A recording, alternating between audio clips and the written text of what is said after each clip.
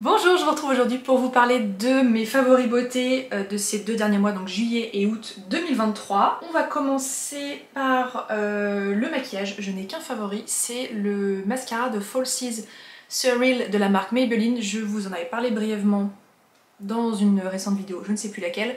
Je crois que c'est le tout dernier mascara de la marque Maybelline.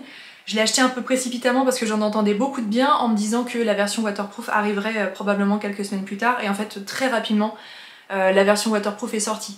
D'ailleurs il y a quelques années j'avais la sensation que les marques lançaient la version classique puis la version waterproof longtemps après et que maintenant les deux lancements arrivent euh, presque en même temps.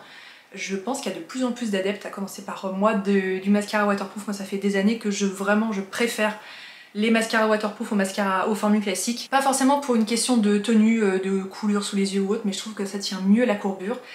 Et alors ça c'est un peu paradoxal aussi parce que c'est plus compliqué à démaquiller, mais j'ai l'impression que les mascaras waterproof m'abîment moins les cils. Voilà, c'est peut-être une vue de l'esprit. Toujours est-il que les formules classiques chez Maybelline sont quand même très bien, donc il n'y a pas les fameuses coulures, etc. Donc j'ai pas de regret d'avoir euh, sauté sur euh, cette première version. c'est un mascara qui apporte beaucoup de volume, qui est très noir, je vous mets la brosse euh, juste ici. C'est une grosse grosse brosse et euh, je vous montre le rendu sur mes cils mais euh, je le trouve parfait. En tout cas moi pour les demandes que j'ai, c'est-à-dire du volume, de la longueur, pas trop de paquets, ça me dérange pas qu'il y ait un peu de paquet mais pas trop, et une très bonne tenue, je le trouve fabuleux. Il est très populaire, j'ai l'impression que beaucoup de personnes en parlent. et je comprends pourquoi, donc je vous invite vivement à le tester. Moi je l'ai acheté en, grande distribution, bah, la prochaine fois que je verrai la version waterproof, je l'achèterai pour faire un comparatif. Je voulais vous faire un focus, alors marque globale, la marque Le Petit Marseillais. J'ai travaillé avec la marque, alors pas pour cette vidéo, cette vidéo ne fait pas du tout partie du contrat que j'ai avec eux. Euh, mais je réalise des, réels notamment sur Instagram qui sont partagés sur leur compte et donc j'ai testé beaucoup de choses pour pouvoir créer ces contenus et euh, je suis euh, conquise. Alors c'est une marque que, vous connaissez tous et toutes j'imagine. Je pense qu'on a tous dans notre vie acheté un produit de Petit Marseillais au moins une fois et moi je redécouvre la marque avec des valeurs euh, plus éco-responsables, des flacons qui sont recyclables, faits à partir de plastique recyclé, des formules beaucoup plus courtes avec davantage une plus grande proportion d'ingrédients d'origine naturelle. Je vous ai vraiment amené trois produits parce que je voulais faire ce focus sur ces trois-là, mais partez du principe que bien sûr tout ce que je vous ai présenté euh, dans les fameux réels sur Instagram euh, m'a plu. petit focus sur le gel douche pêche blanche et nectarine qui est absolument divin, donc vous pouvez acheter la recharge, ça ressemble à un bidon de, de lait ou de jus de fruits. Euh, avec une recharge, je crois que vous remplissez 4 fois votre flacon, donc j'en suis au moins à la deuxième euh, recharge de celui-ci. Ça plaît à tout le monde dans la famille, c'est fabuleux. Ensuite les laits soins hydratants euh, qui existent en plusieurs versions, moi j'en ai testé 4. Je les ai tous adorés, je vous présente là celui au monoeil que je trouve délicieux. C'est un monoeil qui est pas trop écœurant, qui est fleuri, qui s'oublie assez vite. C'est vraiment un, très très bon produit et puis la texture est parfaite. C'est vraiment le lait parfait pour l'été quand il fait bien chaud. Ça pénètre vite dans la peau euh, sans être tout poisseux, tout collant. Et ensuite le zeste démêlant sans rinçage au pamplemousse et au jasmin, euh, qui fonctionne aussi bien sur mes cheveux que sur les cheveux de ma fille. C'est vraiment le produit qui se fait oublier, qui vient euh, démêler les cheveux et pas plus, il va pas alourdir rien du tout. C'est un super produit qui fonctionne aussi bien dans un usage familial. Voilà, je voulais juste vous faire un petit focus sur la marque, peut-être vous inviter à regarder ces fameux réels qui sont donc sur mon compte Instagram. Mon pseudo c'est le blog de Neroli partout, je vous remettrai ça sous la vidéo. Et euh, je suis très contente de cette collaboration parce que je peux avoir parfois des collaborations avec euh, des marques euh, plus coûteuses et puis là on est vraiment sur une marque grand public, grande distribution qui est accessible à tous dans à peu près tous les magasins, tous les supermarchés de France et de Navarre. Donc je suis très contente de, de pouvoir mettre en avant ces beaux produits. Ensuite, et favoris côté cheveux. Je vous avais fait une vidéo haul entre autres Sephora, je vous la mettrai sur l'écran si vous l'aviez loupé et j'avais très envie de tester les fameux soin acide. Alors il en existe chez Kerassas et dans plein d'autres marques. Donc là c'est le Chroma Absolu soin acide Chroma Gloss avec de l'acide lactique et de la Centella asiatica. Un... Ce sont les fameuses eaux lamellaires qui sont très populaires en ce moment qu'on voit dans pas mal de marques, des marques euh, assez luxueuses comme Kerassas puis des marques euh, qui sont davantage euh, bon marché. Écoutez je suis conquise par ce produit, bah, il m'en reste... Si je me fie à ce que dit la bouteille 1, 2, 3, 4, il me reste 5 doses. J'ai peut-être été assez généreuse en termes de quantité, quoique... 5, 6... Ouais, je m'en suis bien servi 6 euh, fois ou un tout petit peu plus. C'est un produit que j'adore parce que déjà, il y a un pouvoir démêlant qui est hyper intéressant et je me rends compte que vraiment, moi, pour mes cheveux, c'est le point de départ. Si j'ai les cheveux emmêlés, quand je vais sortir de la douche, je vais les brosser. À force de les brosser, je vais les rendre cassants, abîmés. Et puis, plus ils vont être abîmés, plus ils vont s'emmêler. Et puis après, c'est la boucle infernale. Et euh, pour moi, le démêlage, c'est vraiment le point de départ pour avoir des cheveux en bonne santé. Donc de ce côté-là, ça m'aide beaucoup. Ça vient redonner une brillance aux cheveux qui est assez dingue. Enfin moi j'ai vraiment un effet comme si je sortais de chez le coiffeur. Alors la seule limite c'est le prix, ça coûte très cher, c'est Kerastase, mais j'ai cru comprendre que ça commençait à arriver dans des marques euh, vraiment plus abordables. Je n'arriverai pas à vous en citer une comme ça, mais euh, je vais essayer de me renseigner pour trouver quelque chose d'équivalent, de similaire, euh, sans dépenser ce prix-là, mais je suis vraiment très très contente de ce produit. De toute façon, Kerastase sur toute l'année 2023, c'est une marque que j'ai redécouverte, que je connais depuis longtemps mais que j'avais pas utilisée pendant de nombreuses années. Je m'étais vraiment focalisée sur Olaplex. Je suis toujours aussi contente des produits Olaplex, je continue d'en acheter. Mais Kerastase, j'ai vraiment une révélation dans le sens où euh, c'est pour avoir des cheveux je trouve encore visuellement plus beaux. Je sais pas si ça répare autant qu'Olaplex mais il y a un rendu vraiment euh, gainant sur la fibre. ça va être vraiment très dépendant de votre type de cheveux mais euh, Kerastase c'est un gros coup de cœur donc je vous en reparlerai dans l'article que j'écris toutes les années sur mon blog qui s'appelle mon Best of Beauty de l'année. mais voilà, Kerastase c'est un, gros coup de cœur pour moi. Ensuite, la dernière fois que je suis allée chez ma coiffeuse, Angelina, donc l'atelier d'Angelina à Annecy, elle m'a conseillé de tester ce masque qui est donc le masque Money de euh, la marque Color Wow en collaboration avec Chris Appleton. Et Chris Appleton, déjà est-ce que c'est un homme ou une femme? Je ne sais plus. Bon, partons du principe que c'est Christopher et que c'est un homme, je suis pas bien sûre de moi. C'est le coiffeur des stars, alors je sais plus qui coiffe, est-ce que c'est Jennifer Lopez ou quelque chose comme ça? Bref, ce produit c'est un peu la collaboration entre la star, enfin l'égérie et la marque. Et donc ce masque Money, euh, j'en avais beaucoup entendu parler aussi, Angelina m'a dit mais franchement teste-le, tu me diras ce que t'en penses. Alors si je vous le présente ici c'est que j'en suis très contente. Alors quand on lit la description c'est à nouveau très à l'américaine, il est écrit Mask for super glossy expensive looking hair, donc pour des cheveux très brillants et qui ont l'air de coûter cher. Donc bon je suis pas hyper fan de la description mais quand on achète des produits voilà, qui viennent des états unis c'est quand même souvent, euh, c'est souvent le credo, c'est toujours des descriptions complètement waouh.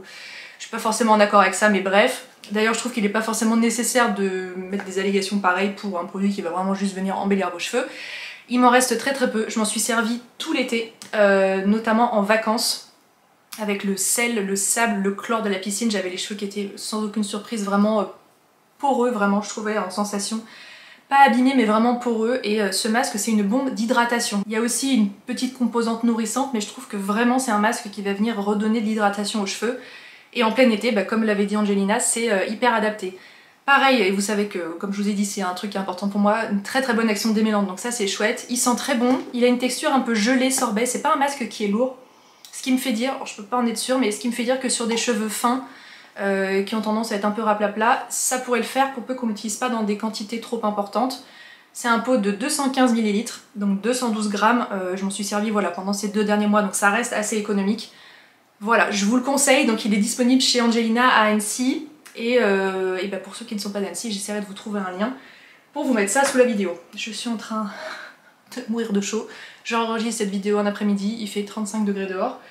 Je n'ai pas de ventilateur parce qu'avec le micro sur l'appareil photo c'est absolument euh, ingérable, mais euh, vous allez me retrouver comme un petit pruneau à la fin de la vidéo.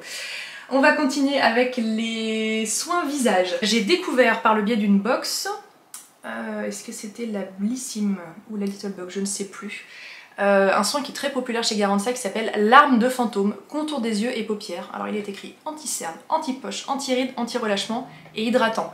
Je le trouve très adapté pour la saison estivale où on n'a pas besoin d'avoir quelque chose d'hyper costaud. Enfin moi je peux avoir tendance à faire un peu de l'eczéma sur le contour des yeux quand on est au plein cœur de l'hiver, etc. Bon en été c'est pas, pas le cas. La présentation est euh, très intéressante, c'est une petite bille et à l'intérieur vous avez vraiment un produit qui est mi-crème, mi-sérum.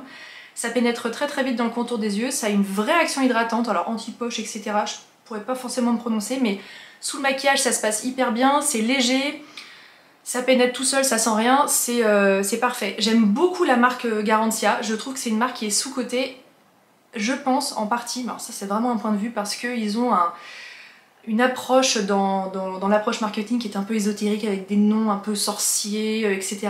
qui est pas forcément quelque chose qui m'attire moi personnellement, mais vraiment dans, dans les compositions des produits, dans l'efficacité, le nombre de brevets qu'ils ont, c'est une marque qui est très sérieuse.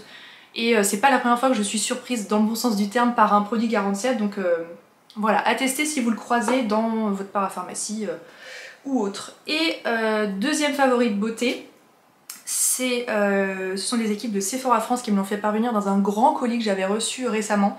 C'est le double sérum de la marque Clarins sur lequel il est écrit Light texture. et je n'ai pas vérifié Mais j'imagine que du coup c'est une version plus légère du double sérum. Je n'arrive pas à me souvenir si j'avais testé ce fameux double sérum. J'ai pas de souvenir euh, marquant, ça fait longtemps qu'il est sorti.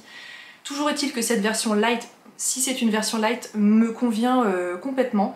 Double sérum parce que vous avez une phase vraiment euh, hydratante, aqueuse, et puis vous avez une phase qu'ils appellent le lipidic system, qui est une phase qui va être vraiment plus nourrissante. Le tout dans une texture, et là ils disent vrai, qui est très légère. traitement complet jeunesse intensif, alors c'est un produit qui est un peu dirigé vers euh, des problématiques anti-âge, etc. Qui pas forcément quelque chose que je recherche. Moi, je trouve beaucoup de similitudes en fait avec le...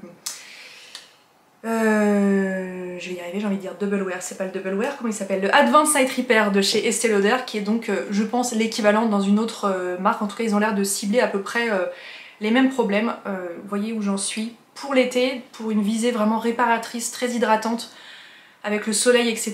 J'ai trouvé que c'était un produit qui était très adapté et euh, je suis ravie de l'avoir découvert parce que je sais pas si je serais allée dans cette marque pour ce produit avec un tel budget. Je pensais que c'était pas forcément un produit qui était fait pour moi, notamment avec cet aspect anti-âge, mais je peux dire la même chose du Advanced Night Repair de chez Estée Lauder qui est vraiment euh, proposé, orienté vers des peaux matures, alors qu'en fait je trouve que ça fonctionne très très bien euh, sur une peau jeune, j'ai pas 15 ans, mais voilà, j'en ai 35. Donc euh, très très très belle euh, découverte. Ensuite je voulais vous parler de alors d'un type de produit mais je vous en présente euh, deux. Ce sont les exfoliants corps en version solide. c'est quelque chose que j'aime énormément pour exfolier des zones qui ont vraiment besoin d'être exfoliées bien, de façon bien costaud. Les genoux, les coudes, les aisselles. Moi par exemple je peux faire des poils incarnés à cet endroit là. Je vous en présente deux parce que c'est les deux que je possède et je les aime beaucoup.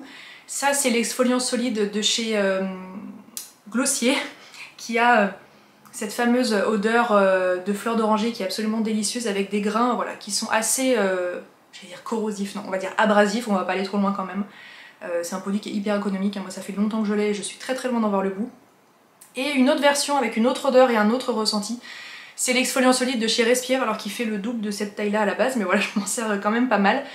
lui l'avantage c'est que vous pouvez lui glisser une petite cordelette pour l'accrocher si vous voulez le mettre voilà, sur votre paroi de douche ou autre. Il a une odeur de de biscuits de céréales qui me fait beaucoup penser à un produit de chez Lush que j'utilisais il y a très longtemps. Alors euh, rien à voir entre Respire et Lush, les compositions chez euh, Lush c'est euh, du parfum et une grosse cata côté compo donc chez Respire il n'y a rien à voir avec ça. je vous invite à aller voir la fiche produit si vous voulez savoir ce qu'il y a dedans mais voilà, chez Respire, vous pouvez y aller les yeux fermés. C'est un type d'exfoliation que j'aime beaucoup en été parce que j'ai tendance à faire voilà, pas mal de, de, peau morte, de peau sèche avec l'exposition au soleil, etc. Ça vaut le coup d'aider un petit peu le renouvellement cellulaire grâce à ça et aussi pour enlever les filtres solaires. Quand vous êtes couvert de crème solaire sous la douche, moi j'ai tendance à prendre même deux douches, enfin à me savonner euh, deux fois avec un gel douche, mais en fait avec un exfoliant comme ça, ça aide quand même à retirer les couches de crème quand vous en avez appliqué 3-4 dans la journée parce que vous êtes resté la journée à la plage. Ça peut valoir le coup. Donc euh, voilà, je voulais vous en parler parce que ce sont euh, deux produits que j'ai depuis longtemps dans ma douche et que j'aime vraiment beaucoup. Ensuite, les soins corps. Et eh ben je voulais vous parler justement de l'après-soleil naturel de chez Respire. Je l'avais acheté donc pendant la fameuse commande Sephora dont je vous parlais. Euh, je voulais un soin après soleil qui soit léger, euh, pas gras, pas collant, qui fonctionne sur tout le monde, avec une bonne texture et quelque chose voilà d'agréable à appliquer qui fonctionne sur euh, toute la famille. je me suis tournée vers celui de Respire, il est quasiment vide, on s'en est servi tout l'été. Une texture sorbet, gel, hyper fraîche, une petite odeur toute douce, il y avait un très léger fond de noix de coco. Quentin n'aime pas la noix de coco et il m'a dit franchement ça va, c'est hyper tolérable, c'est vraiment de la noix de coco très très légère. 98% d'ingrédients d'origine naturelle, c'est vraiment moi tout ce que je demande à un après-soleil, il est parfait, autant en termes de compo qu'en termes de plaisir d'utilisation, qu'en termes d'efficacité sur la peau. Je vous le conseille, il est euh, vraiment idéal. Et je vous refais un dernier focus euh, crème solaire, mais je me rends compte que j'ai pas amené celle de chez Uriage. Je vous en ai parlé dans ma dernière vidéo produit terminé que je vous mets ici. En fin d'été, je vous fais toujours un petit bilan sur les crèmes solaires que j'ai utilisées. Euh, on a vidé deux tubes de Mixa 50+, euh, celle-ci c'est pour euh, les peaux sèches et celle-ci c'est anti-sel, anti-sable, anti-chlore. En effet les textures étaient différentes mais l'efficacité euh, était la même. J'ai adoré, enfin on a vraiment adoré ces crèmes solaires. Moi j'achète vraiment un produit qui fonctionne sur tout le monde et c'était vraiment fabuleux. L'autre du coup que j'ai oublié de vous ramener c'est le lait Uriage SPF 50+. Franchement j'en pense la même chose, très très bonne efficacité, bonne tenue sur la peau sans être gras ni collant, vraiment fabuleux. Et je bifurque vers mon flop. J'ai acheté en pharmacie le lait Antelios 50+, euh, PA++++, UVA, UVB, antioxydants, etc.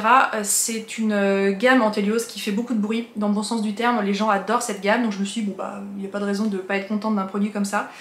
J'ai un problème avec cette crème solaire, c'est qu'elle tache les vêtements. Alors, pas quand vous êtes habillé dans des couleurs foncées, mais vous mettez un t-shirt blanc, enfin vous mettez votre crème, vous mettez un t-shirt blanc pour partir à la plage, votre t-shirt il est jauni sur tout le col et les bras et euh, ça ne part pas à la première machine, il faut vraiment mettre des produits détachants etc. Donc c'est quand même euh, voilà, quand même un problème, donc je suis euh, très déçue de ce produit. Après en termes d'efficacité, de protection etc, il n'y a rien à dire, mais les taches sur les vêtements franchement c'est pas un cadeau. Donc je ne vous conseille pas cette crème alors que notamment la version visage est très appréciée. La version corps, je vous avoue j'ai pas compris. Et ensuite le deuxième flop de cette vidéo. Je m'étais acheté il y a quelques mois le fameux, le mythique sérum K18 qui est un... non je vous dis sérum, c'est pas un sérum, c'est un masque capillaire sans rinçage à réparation moléculaire. Un produit très intrigant avec euh, toute une notion de recherche, de brevet, etc. Un truc assez mystérieux qui a fait beaucoup de bruit avec euh, des réactions assez clivantes. Des gens qui en étaient ravis en disant que c'était le produit qui avait métamorphosé leurs cheveux. Et puis des gens, vous allez comprendre que vite que je fais partie de cette catégorie, qui n'ont pas été euh, très contents des résultats. Alors l'application est assez particulière il faut euh, se laver les cheveux. Ils écrivent ne pas démêler. Alors moi je ne peux pas passer, euh, c'est peut-être pour ça que ça n'allait pas, mais si j'applique un masque sur mes cheveux non démêlés, j'ai une tignasse comme ça, c'est pas possible. Donc moi j'ai démêlé les cheveux. Séchez bien avec une serviette, commencez avec une pompe, donc vraiment une pompe entière du masque, et ajoutez-en plus si nécessaire en fonction de la longueur, de l'épaisseur et de l'état. Autant vous dire que moi il m'a fallu 4 ou 5 pompes vu la quantité de cheveux que j'ai, donc déjà bah, le flacon ne va pas durer longtemps. Appliquez de façon uniforme sur les cheveux, de la pointe à la racine, une pompe à la fois. Laissez reposer pendant 4 minutes pour activer le produit. Ne rincez pas et coiffez comme d'habitude. Donc moi j'ai, euh, en dehors de cette notion de démêlage, j'ai tout utilisé euh, exactement comme c'était euh, précisé, je n'ai vu aucune différence. Vraiment, mais je l'ai utilisé plusieurs fois.